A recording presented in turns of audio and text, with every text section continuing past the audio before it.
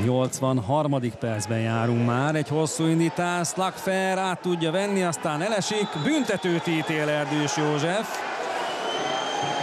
Méghozzá viszonylag határozottan, és Alicsot ki is állítja a játékvezető. Itt van a labda átvétel, rosszul veszi át. Valóban a bal kezével Alics lökött egyet, aztán szét is tárja a kezét. Hát nem tudom, mennyire ért ez büntetőt. Mondhatjuk azt, hogy kilökte a labda alól.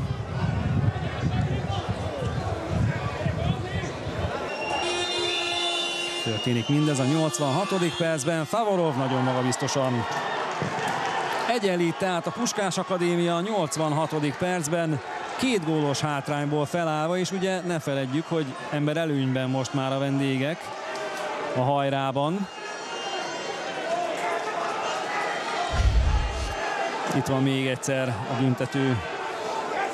Elmozdul balra, Hinrik a másik irányba, sőt inkább középre beemeli Favorov. Gyors csere közben a hazaiaknál Navratil helyére érkezik